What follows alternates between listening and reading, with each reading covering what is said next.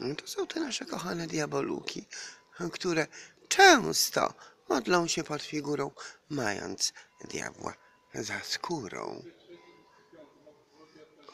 No jesteśmy, proszę Państwa, na Jasnej Górze, że jak będziemy teraz w dół schodzili, to jakby to było na górze, takiej wolnej.